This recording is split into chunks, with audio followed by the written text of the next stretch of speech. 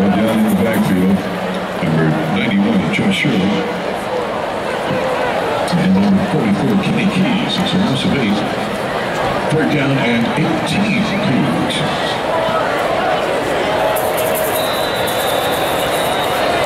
Yeah.